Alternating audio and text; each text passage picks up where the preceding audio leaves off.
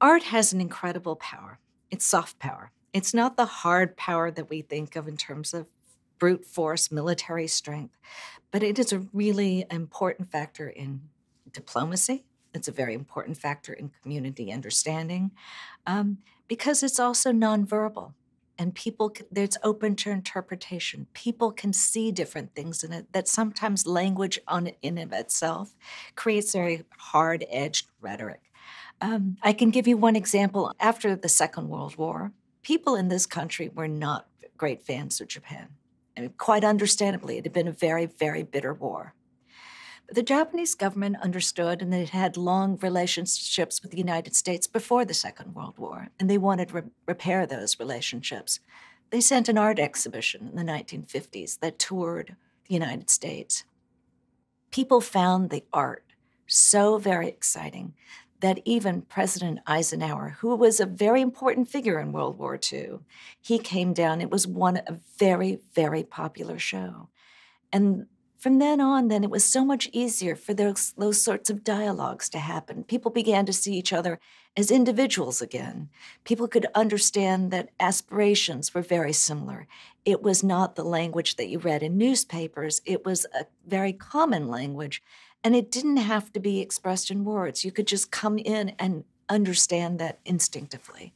I think in communities too, having different kinds of art, I think is very critical.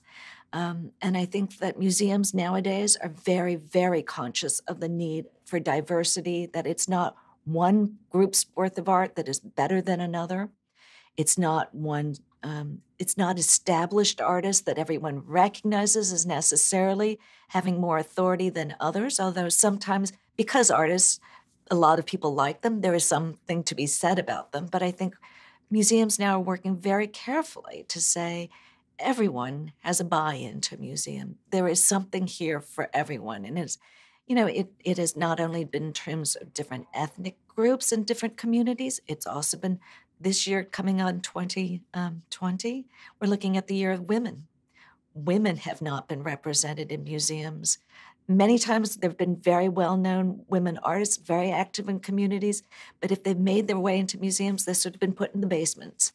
And now museums are all saying, wait a minute, there have been a lot of important female artists. We just haven't given them the kind of spotlight they deserve. So I think museums now are becoming more inclusive places. I think it will encourage others to make more artwork now that they can see that they can get that kind of recognition.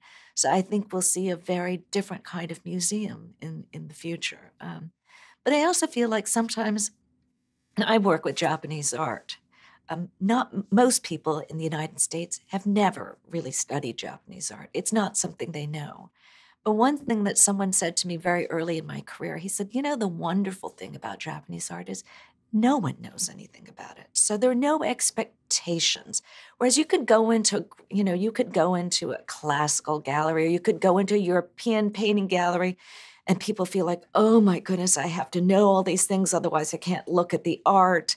And he said, the one thing about Japanese art is people don't, as a rule, know anything about the art. So it's sort of neutral. Um, they, you can come in and say you like it. He said, Your job, though, is so that they can learn something when they're there.